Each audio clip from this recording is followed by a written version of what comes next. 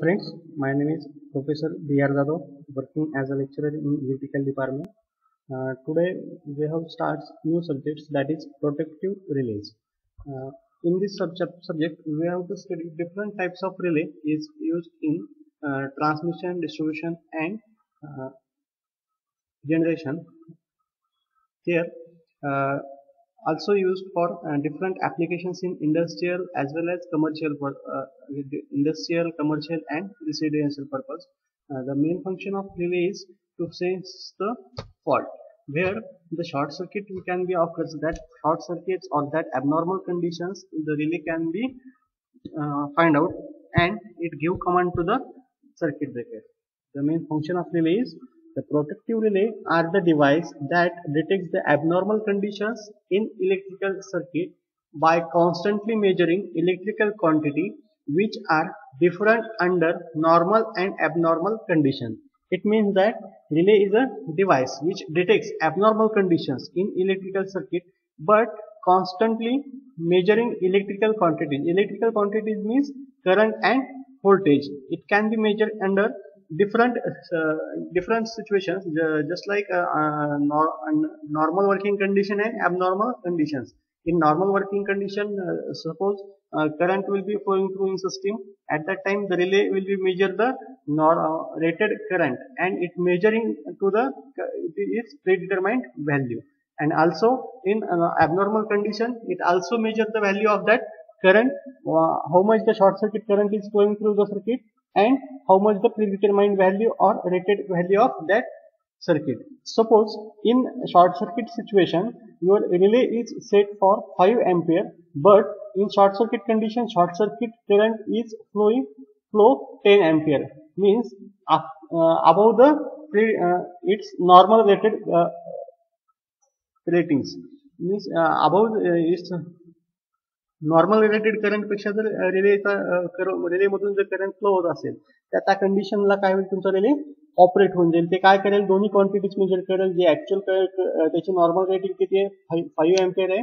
आणि short circuit current किती flow होतोय? टेन एम्पियर तर ज्यावेळेस तो शॉर्ट सर्किट करंट फाईव्ह एम्पियरपेक्षा जास्त फ्लो होईल त्यावेळेस ऑटोमॅटिकली रिले काय होईल तुमचा? क्लिक होऊन जाईल. त्यावेळेस जे काही रिले कॉईल असेल ते तुमची ऑपरेट होईल. आणि ती कमांड कोणाला देईल तुमच्या? सर्किट ब्रेकरला किंवा जे काही तुमची ट्रिप कॉईल असेल त्या ट्रिप कॉईलला कमांड देईल आणि सर्किट काय करेल? डिस्कनेक्ट तुमचं हे जे काही फॉल्टी सेशन आहे त्याच्यापासून तुमचे रेस्ट ऑफ द सिस्टीम किंवा रिमेनिंग जो हेल्दी पार्ट आहे सिस्टीमचा तो तुमचा डिस्कनेक्ट करेल. This is a protective relay basic trip circuit here we can see one bus bar is connected after that one circuit breaker is connected again uh, in circuit breaker series one CT is also connected and after that this is the one feeder is connected uh, th that is feeder A uh, and here the fault will be occurs okay and again in this side one battery is connected this is strip coil this is relay contactor and this is relay coil आता याच्यामध्ये या protective relay मध्ये आपण बघतो trip सर्किटमध्ये operate होताना की याला आपण ऑपरेट करण्यासाठी दोन याच्या थ्रू ऑपरेट करू शकतो. ते काय आपण मॅन्युअली ऑपरेट करू शकतो किंवा ऑटोमॅटिकली ऑपरेट करू शकतो. ज्यावेळेस नॉर्मल वर्किंग कंडिशनमध्ये नॉर्मल करंट रेटिंग याच्यात करंट फ्लो होईल त्यावेळेस आपण याला मॅन्युअली ऑपरेट करू शकतो. But in short circuit condition ज्यावेळेस येतं क्रिएट होईल त्या शॉर्ट सर्किट कंडिशनमध्ये काय होईल तुमचा रिले जो आहे तो डायरेक्टली रिले जो असेल तो काय होईल तुमचा ऑटोमॅटिकली ऑपरेट होऊन जाईल. आता याच्यामध्ये काय की जिथं तुमचा फॉल्ट इथं क्रिएट झालेला आहे या पॉइंटला तर काय होईल? ज्यावेळेस तुमचा नॉर्मल करंट रेटिंग याच्यातून फ्लो होते बरोबर आहे? त्यावेळेस सर्किट ब्रेकरचा कॉन्टॅक्ट काय असेल? क्लोज असेल. आणि नॉर्मल करंट तुमचा काय होईल याच्यातून? फ्लो होईल.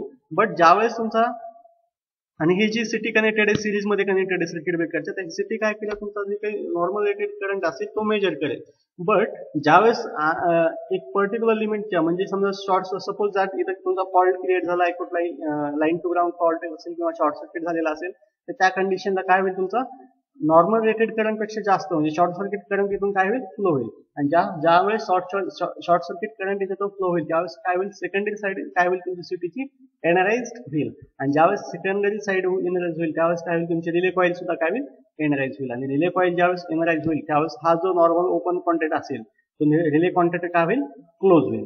आणि ज्यावेळेस हा रिले कॉन्टॅक्ट क्लोज होईल त्यावेळेस ऑटोमॅटिकली सप्लाय कुठे जाईल तुमच्या?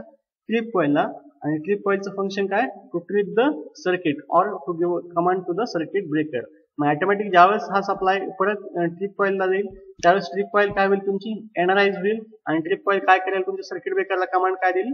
टू ओपन द सर्किट मग हा कॉन्ट्रॅक्टर जो असेल तो कॉन्ट्रॅक्टर काय होईल ऑटोमॅटिकली ओपन होऊन जाईल. तर हे आहे तसं वर्किंग बट हे आहे ऑटोमॅटिक कंडिशनमध्ये जे ज्यावेळेस शॉर्ट सर्किट क्रिएट होईल त्यावेळेस. बट ज्यावेळेस आपल्याला याला मॅन्युअली ऑपरेट करायचं. तर मॅन्युअली ऑपरेट करण्यासाठी आपण काय करतो की रिले कॉईल जे असते त्याला आपण काय करतो? डीसी बॅटरी सप्लाय आपण देतो. आता इथे डीसी सप्लाय थ्रू आपण काय केलेले? हा रिले कॉईल आहे. इथून रिले कॉईल थ्रू आपण ओपन अँड क्लोज करू शकतो. सेकंड इथून आपण डायरेक्टली हा सप्लाय कुठे दिलेला आहे? ट्रिप कॉईलला जर सपोज तुम्हाला इन नॉर्मल सिच्युएशनला वर्किंग कंडिशनला तुम्हाला काय करायचं? सर्किट ऑन ऑफ करायचं किंवा मेंटेनन्स पर्पजसाठी साठी साठी शटडाऊन करायचं आहे तर त्या कंडिशनमध्ये सप्लाय जर तुम्हाला कट ऑफ करायचं असेल सर्किट ब्रेकर जर ओपन करायचं असेल कारण सर्किट ब्रेकर आपण काय करतो? नॉर्मल आणि आणि ॲबनॉर्मल कंडिशन्स म्हणजे दोन्ही कंडिशनमध्ये सर्किट ब्रेकरला आपण ऑपरेट करू शकतो. मग त्यामुळं आपण ज्यावेळेस तुम्हाला मेंटेनन्स करायचं असेल त्यावेळेस समजा नॉर्मल वर्किंग कंडिशनमध्ये सप्लाय काय करायचं आपल्याला? कट ऑफ करायचा आहे. तर त्यावेळेस आपण इथं डीसी तो आपण काय करू शकतो? सप्लाय देतो. आणि हा सर्किट आपण इथून काय करतो? ओपन करतो. हे झालं मॅन्युअली ऑपरेशन हे आहे प्रोटेक्टिव्ह रिलेचं बेसिक सर्किट ओके आता नेक्स्ट आहे fundamental requirement of protective relays कुठल्याही टाईपचा ज्या ज्यावेळेस आपण सिलेक्ट करतो बरोबर आहे? त्याच्यासाठी काही बेसिक रिक्वायरमेंट्स असतात त्यात फर्स्ट आहे सिलेक्टिव्हिटी सिलेक्टिव्हिटी मीन्स काय?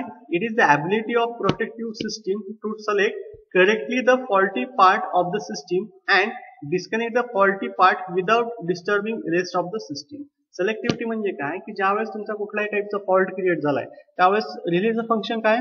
त्यानं परफेक्ट तुमचं जिथं फॉल्ट क्रिएट झालेला तेवढाच फॉल्ट त्यानं काय केला पाहिजे? सेन्स केला पाहिजे. क्विकली आणि तो काय केला पाहिजे? जो फॉल्टी पार्ट असेल तो सिलेक्ट करून काय केलेला आहे? करेक्टली सिलेक्ट करून तो तुम्हाला कुठे दिलेला पाहिजे? तुमच्या डिस्कनेक्ट केला पाहिजे. जे की रेस्ट ऑफ द सिस्टम असेल म्हणजे रिमेनिंग जे सर्किट असेल हेल्दी पार्ट त्याच्यापासून त्याला काय केलं पाहिजे? डिस्कनेक्ट केलं पाहिजे. तर हे आहे फर्स्ट सलेक्टिव्हिटी नेक्स्ट आहे डिस्क्रिमिनेशन डिस्क्रिमिनेशन मीन्स काय? This is the property of protective relay enable it is distinguish between the normal condition and abnormal condition म्हणजे काय? डिस्क्रिमिनेशन म्हणजे काय? डिफरन्शिएट इट मीन्स त्याची प्रॉपर्टी काय आहे? की नॉर्मल कंडिशन आणि ॲबनॉर्मल कंडिशन ज्या असतील त्याला काय केलं पाहिजे? डिस्क्रिमिनेशन त्याच्यामध्ये केलं पाहिजे. कारण की जर एखाद्या वेळेस जर नॉर्मल कंडिशन असेल आणि त्याच्यामध्ये जर सॉरी कुठली एक ॲबनॉर्मल कंडिशन असेल आणि त्याला जर तुम्ही ऑन ऑफ तरी पण कॉन्टॅक्टच करत असाल तर त्यावेळेस काय होऊ शकतं तुमचं? जे काही ऑपरेटिंग इक्विपमेंट्स आहेत ते तुमचे डॅमेज होऊ शकतात. त्याच्यामुळे त्याचा सगळ्यात मेन म्हणजे डिस्क्रिमिनेशन झालं पाहिजे की नॉर्मल कंडिशन कोणती आणि ॲबनॉर्मल कंडिशन्स कोणती आहे. त्याच्यानंतर नेक्स्ट आहे स्पीड. स्पीड म्हणजे काय?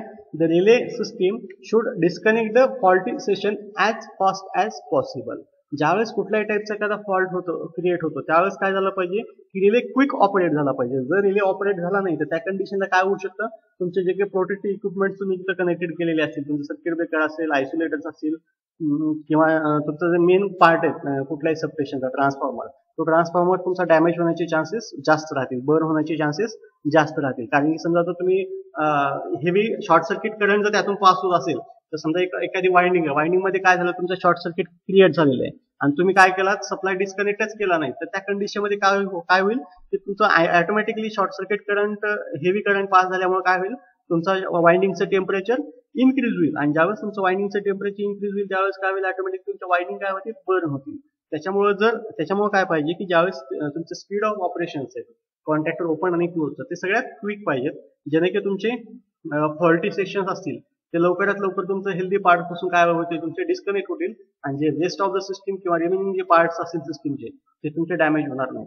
त्याच्यानंतर नेक्स्ट पार्ट आहे सेन्सिटिव्हिटी सेन्सिटिव्हिटी म्हणजे काय? It is the ability of the system to operate for lower value of actuating quantity sensitive म्हणजे काय? It is the ability of the system to operate for lower value of actuating quantity means काय?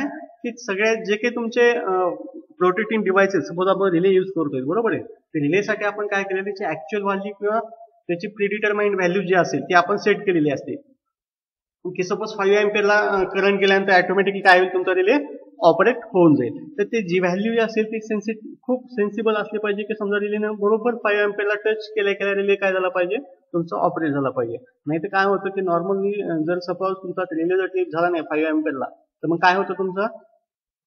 More than five ampere current तुमच्या सिस्टीममधून flow होईल आणि तुमच्या सिस्टीममधले जे काही बाकीचे इक्विपमेंट असतील ते डॅमेज होण्याचे चान्सेस असतात. त्याच्यामुळे जे सेन्सिटिव्हिटी आहे रिलेमधली ती खूप इम्पॉर्टंट आहे. नेक्स्ट आहे reliability it is the ability of system to operate under predetermined conditions म्हणजे रिलायबिलिटी सगळ्यात जास्त महत्त्वाचे. कारण जर रिलायबल तुमचं इक्विपमेंट जर रिलायबिलिटी जर नसेल तर ते सगळ्यात त्याच्यामधून त्याच्यापासून काय होतील? तुम्हाला जे खूप लॉस तुमचा सिस्टीममध्ये होऊ शकतो. त्यासाठी जे काही त्याच्या प्रिडिटरमाइंड कंडिशन्स आहेत. त्या कंडिशनला ते ऑपरेट झालं पाहिजे. नेक्स्ट आहे simplicity the relay system should be simple so that can be easily maintain जे काही रिले तुमचं आहे त्याचं कन्स्ट्रक्शन म्हणा किंवा वर्किंग जी काय त्याची सिम्प्लिसिटी पाहिजे जेणे की तुम्हाला याचे मेंटेनन्सच्या वेळेस तुम्हाला त्याला इझिली मेंटेन करता येईल. त्याच्यानंतर नेक्स्ट आहे इकॉनॉमी इकॉनॉमिक मीन्स काय? The most important factor in choice of protective relay is economic factor सगळ्यात हा इम्पॉर्टंट फॅक्टर आहे इकॉनॉमिक की त्याची कॉस्ट वगैरे जी आहे ती सगळ्यात लोअर असायला पाहिजे. की आता आपण जे रिले यूज करतो ते आपण डिफरंट ऍप्लिकेशन्स अकॉर्डिंग टू त्याचे ऍप्लिकेशन असतील किंवा त्याचं वर्किंग असेल त्याच्या वर्किंगनुसार किंवा नुसार आपण त्याला यूज करतो. ज्यावेळेस त्याच्या डिफरंटनुसार आपण यूज करतो ऍप्लिकेशन मी समजा ट्रान्समिशन असेल डिस्ट्रीब्युशन असेल किंवा जनरेशन असेल. फॉर एक्झाम्पल ट्रान्समिशन पण ट्रान्समिशनमध्ये ज्यावेळेस ट्रान्समिशन लाईन मध्ये आपण रिले यूज करतो त्यावेळेस according to their ratings of voltage or current तिथे तिथे व्होल्टेज आणि करंटचे रेटिंग्स आहेत त्याच्यानुसार त्या रिलेची प्राइस सुद्धा तिथे काय होते? चेंज होते. तर त्या हे जे फॅक्टर्स आहेत ह्या फॅक्टरचा आपण थोडाफार विचार केला पाहिजे. हे आहेत fundamental requirements of protective relay sensitivity discrimination speed sense selectivity reliability simplicity and economy next आहे classification of relay classification of relay म्हणजे मीन्स काय? Uh, की डिफरंट टाइप्स ऑफ रिले आपण कुठं कुठे यूज करतो? मग त्याच्यामध्ये काय असेल तुमचं? अकॉर्डिंग टू कन्स्ट्रक्शन असेल अकॉर्डिंग टू युअर ऍप्लिकेशन असेल अकॉर्डिंग टू रिक्वायर्ड ऑपरेशन असेल किंवा मायक्रो बे मायक्रो प्रोसेसर बेस्ड रिले असे डिफरंट टाइप्स ह्याच्यामध्ये आपण रिले काय करतो? डिवाइड करतो. फॉर एक्झाम्पल आपण इथं वन बाय वन बघू. फर्स्ट आहे as per the construction and operations operation आणि कन्स्ट्रक्शनच्या uh, याच्यावरती आपण इथे कोणकोणते टाइप्स आहेत? तर first one following are the different types first is electromagnetic attraction types तर फर्स्ट कोणता आहे? इलेक्ट्रोमॅग्नेटिक अट्रॅक्शन टाइप रिले त्याच्यामध्ये परत तीन टाइपचे रिले फर्स्ट आहे अट्रॅक्टेड आर्मेचर टाइप रिले त्या आर्मेचर अट्रॅक्टेड टाइप रिले मध्ये पण परत तीन टाईप्स आहेत. फर्स्ट आहे plunger type relay hinge type relay आणि थर्ड आहे balance beam type relay second आहे याच्यामध्ये काय असं की एखादी इलेक्ट्रोमॅग्नेट असेल ज्याच्यात ती मॅग्नेट असेल त्याला वाइंडिंग कनेक्टेड असेल त्या वाइंडिंग काय होईल तो इलेक्ट्रोमॅग्नेट तुमचं एनर्जाइज होईल ज्यावेळेस सप्लाय देणार आपण त्यावेळेस. आणि त्या सप्लायमुळे काय होईल जे काही आर्मेचर असेल किंवा जे काही प्लंजर असेल किंवा तुमचं बीम असेल ते बीम काय होईल अट्रॅक्ट होईल आणि सर्किट कनेक्ट अँड डिस्कनेक्ट होऊन जाईल.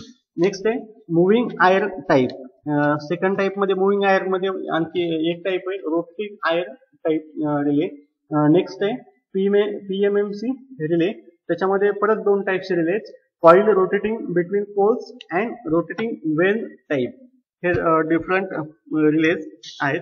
सेकंड आहे त्याच्यात परत इलेक्ट्रोमॅग्नेटिक इंडक्शन टाईप फर्स्ट कोणता होता? इलेक्ट्रोमॅग्नेटिक आर्मेचर टाईप होता. आता सेकंड आहे इलेक्ट्रोमॅग्नेटिक इंडक्शन टाईप त्याच्यामध्ये फर्स्ट आहे इंडक्शन डिस्क डिस्क टाईप आणि सेकंड आहे इंडक्शन कप टाईप हे दोन रिले येतात. इलेक्ट्रोमॅग्नेटिक इंडक्शन टाईपमध्ये. त्याच्यानंतर नेक्स्ट आहे थर्मल रिले स्टॅटिक्स रिले आणि गॅस ऍक्च्युएटेड रिले तर हे डिफरंट टाइप्स रिले आपण युज करतो. समजा थर्मल रिले असेल तर थर्मल रिलेमध्ये आपण ते कसं ऑपरेट करतो? स्टॅटिक्स रिलेमध्ये काय काय युज करतो? स्टॅटिक्स रिलेचा युज कुठं करतो? ते ऍप्लिकेशन काय आहेत? आणि gas actuated relay gas actuated म्हणजे आपण ह्याच्यामध्ये for protection purpose of transformer आपण काय करतो त्याच्यात? बकोज रिले युज करतो. तो बकोज रिले जो आहे तो कोणता आपला? गॅस ऍक्च्युएटेड रिले आहे. जे काही ट्रान्सफॉर्मर असेल ट्रान्सफॉर्मरच्या ऑइल टँक जे काही ऑइल टँक असेल त्याच्यामध्ये काय होतात? Different types of gases produce होतात. मग त्या गॅसेस पासून काय होतं? ट्रान्सफॉर्मर जे काही तुमचं ट्रान्सफॉर्मर असेल मग त्याच्या प्रोटेक्शनसाठी मग काय होतं? गॅसेसमध्ये आपण डिफरंट टाइपचे गॅसेस प्रोड्यूस झाल्यामुळे काय होईल? तुझं टेम्परेचर सुद्धा जास्त असतं. त्या कारणाने मग काय होईल? तुमची वायनिंग बर्न होऊ शकते किंवा तुमचं ट्रान्सफर बर्न होण्याचे चान्सेस असतात. त्यासाठी आपण मग गॅस ऍक्च्युएटेड ऍक्च्युएटेड रिले जे आहेत ते आपण तिथे यूज करतो. सेकंड आहे on the basis of applications on the basis of ऍप्लिकेशन्समध्ये काय आहेत आपण? परत तीन टाइपचे ऍप्लिकेशन्स आपण रिलेज यूज करतो. फर्स्ट आहे डिस्टन्स रिले डिफरन्शियल रिले आणि डायरेक्शनल रिले आता appliqué on the basis of application म्हणजे काय? फॉर एक्झाम्पल तुम्ही ट्रान्सफॉर्मर आहे, तुमचं ट्रान्समिशन लाईन आहे किंवा जनरेट जनरेटिंग स्टेशन्स आहेत.